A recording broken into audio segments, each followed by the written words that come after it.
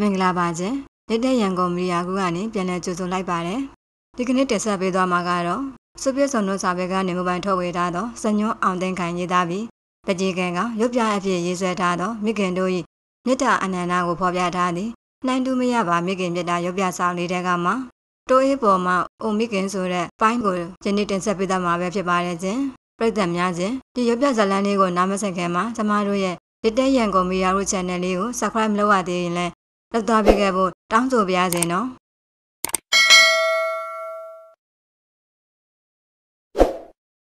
မမျော်မှန်လေမိုးကြိုးတင်လို့ရင်းနှီးဖွယ်ရာတဲဆက်ခါညာကြမကန်စုလွမ်းဆက်ပြိုသည်တိုးအေးနှင့်သောထိုတန်နေထိုနေ့မှသည်ညညနေနေမြင်တွေ့မကောင်းထိုဖြစ်ကြောင်းသည် အလောင်းထက်မြမြင်နေရခဲ့နေ့ရက်လျာ၍15ရက်မြောက်ခါချိန်ရောက်မှရေအောက်ကပေါ်တိုးအေးပေါ်ဝဲ ညှိုးလျော်ကြေကွယ်မိခင်ဆွဲကိုအသက်နှစ်ဖွယ်မြင်ရသည်အယိုးစုများကျွင်းတော်မှပင်ချစ်လာရင်တွင် သူ့ကလေးအားထွေးဆဲပိုက်ဆဲယူရဆဲဟုတသက်မဲမဲပြနေသူရေစီကလုံးလှိုင်းကပုတ်၍စုတ်တိရေမွားစားသည့်ရေဘူးအကြောင်းဆိုလဲတိုးကကက်ကမေ့သေးချာအားမကွဲမကွာပွေပိုက်စေ။အိုမိခင်တင်ပေးကင်းရာကုခတ်ပါ၍လူရအဝေးပြေးနိုင်ပါလျက် မပြေးရ၍အသက်စတေးလိုက်ရော့သလား။အိုမိခင်ကိုလင်မချိအမိတော်လဲတားတော်ခဲဟုဆွဲလာဆိုထုံစကလုံးကိုချီမုံတော်လန်လိုက်ရော့သလား။အိုမိခင်တင်းနဲ့အတူတင့်သေးဦးနဲ့ရေတူပြစ်သိမိခင်စိတ်ပြစ်ယူဖိတ်မြစ်တာစေတနာကိုခါခါဥညွန့်လိုက်ပါ၏ကြာခဲ့ပါပြီဆရာကြီးတမိန်တောင်ရေးခဲ့သည့်ထိုကပြားလေးနှင့်ကပြားပါအဖြစ်ပြက်များသည်လွန်ခဲ့သည့်နှစ်ပေါင်း40ကျော်မှ ယနေ့ထိအောင်ကျွန်ုပ်ရင်ထဲမှာစွဲညစ်နေစေအရေးထင်နေစေပါမိခင်မြစ်တာ၏တရုတ်တကန်ကိုရင်ထဲစွဲကြံနေအောင်မမေ့နိုင်အောင်ဖြစ်နေစေသည်ပြည့်ရမှန်တာရကကလေးဖြစ်သည်ဆိုပါကလည်းမှားမြင်မထင်တော့ပါတက္ကရာအပြင်1983ခုနှစ်ကဖြစ်သည်ရန်ကုန်ပန်းစိုးရန်စိတ်ကမ်းမှဒလပတ်သို့ကူသောတိုအေကုသိုလ်တမောကြီးသည်ရင်းလယ်အရောက်တွင်ပင်လယ်ကူတမောကြီးတစ်စိမ့်နှင့်တိုက်မိကနစ်မြုပ်ခဲ့ရပါသည် တိုအေတမောနစ်မြုပ်မှုကြောင့်ခရီးသည်အများအပြားမှရေမုံဆိုး၏ဝါမျောခြင်းကိုခံလိုက်ကြရသည်ငရဲပြည်တများသွေးပြက်ဖွယ်ရာမြေခွင်းကလည်းအော်တန်ဟစ်တန်ဆူဆူညံလျက်ဝင်းကျင်တကွင်ဝဲပပွက်ညံနေပါတော့သည်တိုအေသမောနစ်မြုပ်မှုကြောင့်လူအများပြတည်ဆုံခဲ့ကြရသည်သက်ဆိုင်ရာမှာကယ်ဆယ်ရေးလုပ်ငန်းများနှင့်အလောင်းများကိုဆယ်ယူရတွင်15ရက်တိုင်အောင်မပြေးနိုင်ပဲချနေခဲ့ပါသည်တင်မောနှင့်ပြီး15ရက်မြောက်သောနေ့တွင်ဖြစ်ပါသည် ကယ်ဆယ်ရေးလုပ်သားများသည်ရေရောက်တင်မောပြက်ထဲမှအလောင်းတစ်လောင်းကိုဆယ်ယူပြီးအလောင်းအားပိတ်ဖြူစားဖြင့်ဖုံးအုပ်ကကန်းသို့ကလာခဲ့ကြလေသည်ဘောဒရာပေါ်ရင်တော့အလောင်းမရသေးသဖြင့်စောင့်ဆိုင်နေကြသောမိဘဆွေမျိုးညီအကိုမောင်နှမများကလည်းမိမိတို့နှင့်သက်ဆိုင်သည့်အလောင်းများဖြစ်လေမလားရဲ့လို့ဝိုင်းအောင်ကြည့်ကြနေကြလေသည်အားလုံးနောက်ဆုံးနေကြပါမကြမီမှာပင်ကယ်ဆယ်ရေးလုပ်သားများသည့်ရေရင်ပေါ်မှအလောင်းကိုဘောဒရာပေါ်သို့တည်ယူလာကအောက်သို့ချလိုက်ကြ၏ တင်မောပေါ်ပါသွားကအသက်ဆုံးချုံသွားခဲ့ကြသူများ၏မိဘဆွေမျိုးညီကိုမောင်နှမများသည်မိမိတို့နှင့်သက်ဆိုင်သည့်အလောင်းဟုတ်မဟုတ်ကြည့်ကြရန်ဝိုင်းအောင်လာခဲ့ကြလေသည်သို့သောမိဘဇောတာသမီဇောညီကိုမောင်နှမဇောများဖြင့်ဝိုင်းအောင်နေသောလူအုပ်ကြီးသည်ကယ်ဆယ်ရေးလုပ်သားများ၏မျက်နှာသွင်းပြင်ကိုတော့ဖြင့်တတိမထားမိပဲရှိနေခဲ့ပါသည်ကယ်ဆယ်ရေးလုပ်သားများ၏မျက်နှာပေါ်တွင်တော့ထိခိုက်ကြွယ်ခွဲဟန်များဖြင့်ရှိနေကြပြီးတချို့သောသူများမျက်ဝန်းဝဲမျက်ရည်များဖြင့်ဝိတည်နေကြလေသည် ကယ်ဆယ်ရေးလုပ်သားများသည်ညှိုးငယ်စွာနှင့်ပင်ဝိုင်းအုံနေသောလူအုပ်ကြီးဟာအလောင်းတင်ကပ်ပေါ်မှဖုံလွှမ်းထားသောအဝတ်ပြူစားကိုဖွင့်လှစ်ပြလိုက်သောအခါတွင်သောဝိုင်းအုံချစ်ချူနေကြသောလူအုပ်ကြီးထံမှထိတ်လန့်တုန်လုံးအံ့ဩမှုများရောပြောနေသည့်အတန်များကြားလိုက်ကြရပါတော့သည်တချို့မှမကြည့်ရဲ့မကြည့်ရသည့်အလားမျက်နာကိုလက်ဝါးဖြင့်အုပ်ကတစ်ဖက်သို့လှည့်သွားကြသလိုတချို့မှတော့ကြည့်နေရင်မှပင်မျက်ရည်ဦးများတွဲကိုကြဆင်းလာခဲ့ကြလေသည်ထို့ပြင်လူအုပ်ကြီးတံမှစကားတန်များသည်လည်း မိကိုရေနစ်ငိမ့်နေသည်ရလားငိမ့်သက်တိတ်ဆိတ်သွားခဲ့ပါသည်ခဏကြာမှတိတ်ဆိတ်ခြင်းကိုဖြိုခွင်းလျက်အတန်တချို့ပြန်လည်ထွက်ပေါ်လာခဲ့၏အလောင်းကိုကြည့်ပြီးကျမရင်ထဲမှာမချိလိုက်တာချင်းငိုတာငိုကြလာမိတယ်ဟုတ်ပါတော့ကျမရင်ထဲမှာလဲစိုးတက်သွားတာပဲအင်းမိခင်ဖြစ်သူဟာသူကိုယ်တိုင်အလုတ်ယုံရင်ရှင်နိုင်မို့လမ်းချိပေမဲ့တသမီးကိုမစွန့်ရက်တဲ့မိခင်စိတ်ကြောင့်သူပါအသေးခံသွားတာနဲ့တူပါရဲ့ဗျာမကြည့်ရဲ့မမြင်ရက်စရာပါပဲ ဟုတ်ပါငါတူရဲ့ဒါကြောင့်လဲမေတ္တာတုတ်ပါနေတော်မှာဖျားခြင်းကမိခင်တို့မြည်သည့်တသမီးကိုအသက်နဲ့ရင်းပြီးအသက်ကိုပါပေးပြီးတော့စောင်းချောင်းကြတယ်လို့ဟောကြားထားခဲ့တာပေါ့ကွယ်ကြီးကျူးသူအပေါင်းတို့၏ရင်တွင်းမှထွက်ပေါ်လာသည့်ကြေကွဲဝမ်းနှင့်ဂယုဏစကားတန်များအရာအလောင်းသည်မြည်သည့်အလောင်းဖြစ်၍ပါနေကြည်ပါစာချိုးသူအလောင်းကပုတ်ပွားကတချို့နေရာတွင်ရေတတဝါများစားထားသဖြင့်ကြည်ရက်စရာပဲမရှိတော့သောမိမအလောင်းတစ်လောင်းထိုအလောင်းကိုယွန်ချပွဲကိုသဘောမထားပဲ လူအများကြည့်ကြနေကြခြင်းမှာအလောင်းရင်ခွင်ထဲဝဲကလေးငယ်တအူ၏တတ်မှတ်ခန္ဓာကိုမလွတ်တမ်းတင်းတင်းကြပ်ကြပ်ပွေ့ဖွက်ထားခြင်းကြောင့်ပင်သည်အင်းမိဘဖြစ်တာဆိုတာကိုထင်ထင်ရှားရှားပြသလိုက်တဲ့ပြည့်ရမှန်ပြရုပ်တစ်ခုပါပဲဗျာဟုတ်တယ်ငါတို့လူဟူသည်မြတတဝါဟူသည်၍ဘယ်အရာတွေကိုဘလောက်ချစ်ပါတယ်လို့ပြောပြောကိုအသက်ထက်ပိုမချစ်နိုင်ကြပါဘူးဒါပေမဲ့အမေဆိုတာကတော့ရင်သွေးအတွက်ဆိုအချစ်ဆုံးဆိုတဲ့သူ့အသက်ကိုယ်တောင်စွန့်ပြီး ချစ်ရဲတယ်ဆိုတာကိုအခုမျက်ဝါးထင်ထင်ပြလိုက်တာပါပဲဖျားစင်ကြီးနိုင်တရားထိုင်နေသောမိခင်ဖြစ်သူကိုငေးကြည့်နေရင်မှကျွန်ုပ်ရင်ထဲတွင်ဘာယမတ်သည်တိုးအေးနှစ်စဉ်ကအဖြစ်ပြက်ကလေးနှင့်တိုးအေးပေါ်မှအိုမိခင်ကပြားလေးကိုအမက်ရလိုက်မိခြင်းဖြစ်ပါသည်ထိုစဉ်မှာပင်အင်ကြီးချန်တကားဝါမှအော်ခေါ်တဲ့ခုကိုကြားလိုက်ရပါသည်အဖွားရေအဖွားထို့ကြောင့်ကျွန်ုပ်အတွင်းများရက်တန်ကအင်ကြီးချန်စီယိုတကားသည်ထွက်လာခဲ့သည်ဟောအတော်များကျွယ်ပါလားဘာကိစ္စကြည့်လို့လဲခမညာ မိမိတရားထိုင်နေပါတယ်လာအထဲဝင်ပါအောင်အော်ဟုတ်လားဒါဆိုလဲမဝင်တော့ပါဘူးကွယ်မနှက်ပြန်အတော်အမေလာလဲစွန်းဖုန်ကြီးဆုံးကပ်မလို့အဲ့ဒါအဖွားကိုလာဖိတ်တာပါအော်ဟုတ်ကဲ့အမေတရားထိုင်ပြီးရင်ကျွန်တော်ပြောလိုက်ပါမယ်ဘာလို့လို့နဲ့အတော့အမေတော်ဆုံးသွားတာတလချီသွားပြီကိုအေးကွယ်ငါတို့လည်းအားရင်လိုက်ခဲ့နော်ကိုနဲ့ရင်းနှီးသူအနေချင်းမဖိတ်တာ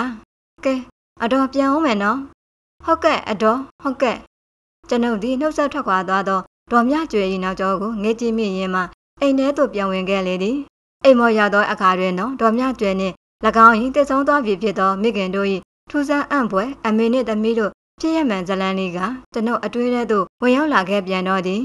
ကျမနည်းနည်းတော်များကျွဲပါ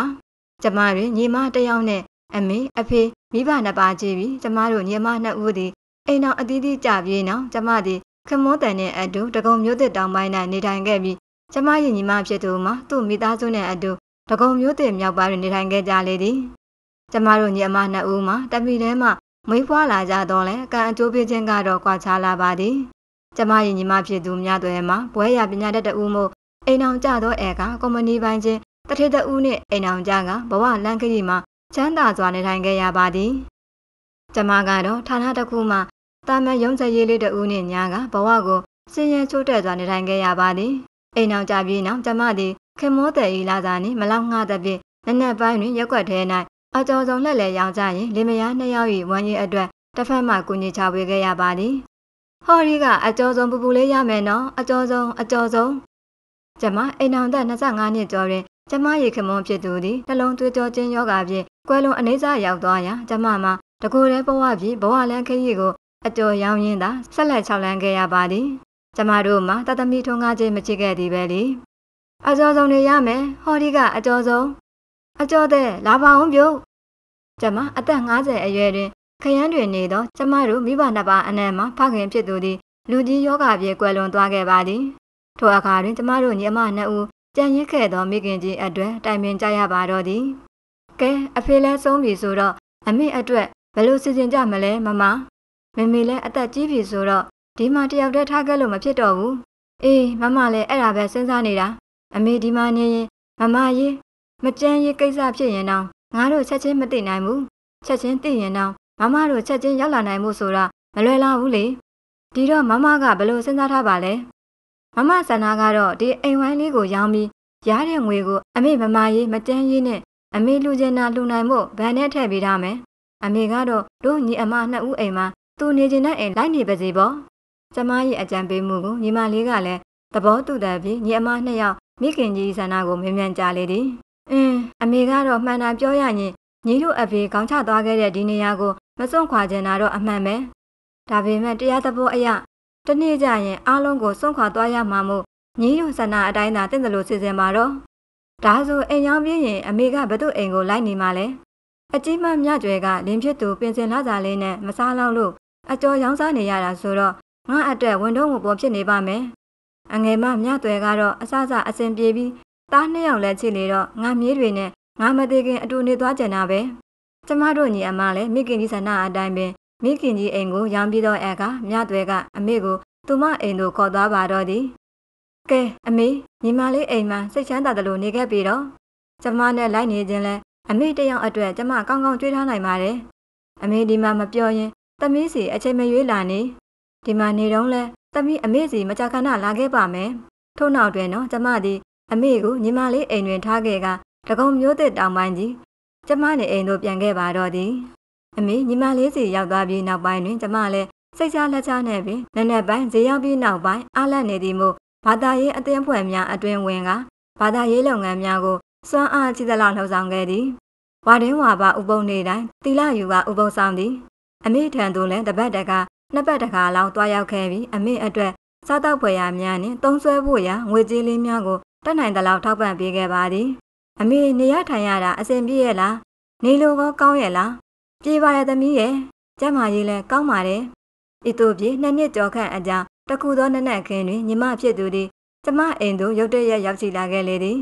ညီမလေးရောက်လာချိန်တွင်ကျမသည်အကျော်ရောင်ထွက်ရန်ပြင်ဆင်နေကြဖြစ်သည်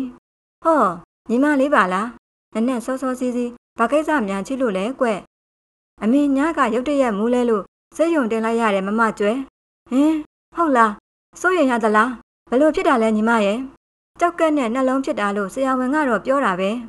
ကျမလည်းစိုးရင်စွာနဲ့ဇေယောင်းပင်မထွက်ဖြစ်တော့ပဲအင်ကြီးအဝတ်စားလေးကညီမလေးနဲ့လိုက်လာခဲ့ပါတော့သည်ဆေးရုံပေါ်ရောက်သောအခါတွင်တော့ရိုးရိုးတန်းလူနာဆောင်နဲ့အောက်ဆင်ဂျင်ပိုက်တက်ထားသောအမေကိုတွေ့လိုက်ရပါတော့သည်အမေကလုံးဝသတိမရသေးပါ အမေကိုအထူးကမ်းမှမထားပဲဘာလို့ရိုးရိုးတန်းမှထားတာလဲညီမလေးဟိုဟိုလေအဲအဲ့ဒါညီမလေးတို့ငွေရေးကြေးရေးနည်းနည်းကြက်တဲနေလို့ပါမမဟဲ့နင်တို့လည်းလုပ်ငန်းအစင်မပြေလို့ငွေကြေးအခက်အခဲချိနေရင်လဲအမေဖက်ဆန်တွေဗန်ထဲမှာချိနေတာပဲထုတ်သုံးပေါ့အေးဟိုအဲအဲ့ဒါလဲကိုမောင်လုပ်ငန်းချဲဖို့ငွေလိုနေတာနဲ့အမေကိုငွေထုတ်ခိုင်းပြီးခဏလှည့်သုံးထားတယ်မမဘာအင်းငါရက်ွက်ထဲမှာတရားပွဲတွေချိနေလို့မလာဖြစ်တာတလကြော်ပဲချိသေးတယ် အခြေအနေတွေကပြောင်းလဲကုန်တာပါပဲလားမြတ်တွေရဲ့ဒီဒီလိုပါမမရဲ့အမေပတ်စံတွေဒီလောက်ကုန်လောက်ပြန်ရမယ်လို့ကိုမောင်ကပြောတာပဲကဲကျမလည်းစီးတွေသွေးတွေစစ်ထားတာချွေပုံသာလမ်းမှာတွားယူရမှာမို့မမခဏစောင့်နေအောင်နော်ညီမလေးဒီမလုံမလဲဖြစ်အကြောင်းပြကကျမအနီးမှာထွက်ခွာသွားပါတော့၏ထိုအခါမှာကျမမိမိကိုကြည့်လိုက်မိတော့ရကအမေအလွန်ပိန်ချုံသွားသည်ကိုတွေးလိုက်ရပါတော့သည်အလုံးတလအတွင်းမှာပဲအမေပိန်ချုံပြီးအိုကျသွားလိုက်တာ ဘလို့များဖြစ်သွားတာပါလေကျမသည်ကြေကွဲဝမ်းနဲ့စာနဲ့ပင်မိခင်ကတဲ့အနီးမှာခွန်ကိုဆွဲယူကထိုင်လိုက်ပြီးမိခင်လက်ကလေးကိုတရွတ်တရကင်ထားလိုက်မိသည်ထိုအချိန်မှာပင်အသက်25နှစ်ခန့်ရှိသောအမျိုးသမီးတဦးထမင်းကြိုက်ကိုကင်လျက်ကျမအနီးသို့ရောက်ကြည့်လာခဲ့လေသည်။အော်ဒေါ်လေးတောင်ရောက်နေတာကိုမင်းကလေးအတန်ကြောင့်ကျမမိုးကြည့်လိုက်တော့မြတ်တယ်ကြီးအိမ်တွင်အင်ကူအဖြစ်အမေတို့ရွာမှာခေါ်ထားသည်ဆွေမျိုးနှိစက်တော်သောမင်းကလေးဖြစ်နေလေသည်။ ဟောအင်းမေတောင်ရောက်လာပြီကိုသမီးကအမေကိုလာဆောင်လာလား။ဟုတ်တယ်ဒေါ်လေးရဲ့အဖွားစိတ်ယုံတက်ခဲတဲ့ကသမီးနေဘက်ဆောင်တယ်လေ။ညကြတော့စိတ်ယုံကဆီယမတယောက်ကိုငှားထားတယ်။အမေခုလောက်အထိပြစ်သွားတာငါယုံတာမယုံနိုင်ဘူးအေးဘလို့ဖြစ်တာလဲဆိုတာငါ့ကိုပြောပြစမ်းပါဦး။အင်းပြောရရင်တော့အဖွားကအသက်ကြီးလာတာနဲ့အမျှယောဂကလည်းဆုံးတချောင်ချောင်ဖြစ်နေရကနောက်ဆုံးအစားတောင်ဝအောင်မစားရတော့အာဟာရပြက်ပြီးခုလိုဆိုးဆိုးရွားရွားဖြစ်သွားရတာပါပဲဒေါ်လေးရဲ့ အစားတောင်ဝအောင်မစားရဘူးဆိုတော့အမေကယောဂကြောင့်မစားနိုင်တာလားယောဂကြောင့်မဟုတ်ပါဘူးဒေါ်လေးရဲ့ပယောဂကြောင့်ပါပယောဂကြောင့်အစာမကျွေးပဲထားကြတာဟေးပယောဂကြောင့်ဟုတ်လားအေးမေမတောသူပြီးပြီးအဖြစ်ပြအလုံးကိုရိုးသားစွာအမှန်တိုင်းကျမကိုပြောပြပါတော့သည်ပရိသတ်တို့ယခုတင်ဆက်သွားတာကတော့နှိုင်းတူမရပါမိခင်မြတ်တာဆောင်လေးတဲကမှတိုအေးပေါ်မှာအိုမိခင်ဆိုတဲ့အပိုင်းကိုတင်ဆက်ပေးတာပဲဖြစ်ပါတယ် နောက်ရက်များမှာလည်းနှိုင်းတူမရပါမိခင်မြတ်တာဆောင်ထဲကမှအမေအတွက်တောကမြတ်ရည်ဆိုတဲ့ခေါင်းစဉ်လေးကိုတင်ဆက်ပေးသွားမှာဖြစ်တဲ့အတွက်လက်တက်ရန်ကုန်မီဒီယာကု channel လေးကို like ရန် subscribe လေးလုပ်ပြီးစောင့်မျှော်ရင်းနားဆင်ပေးကြပါအောင်လို့ပြောရင်ပရိသတ်တို့ကိုနှုတ်ဆက်လိုက်ပါတယ်ချင်း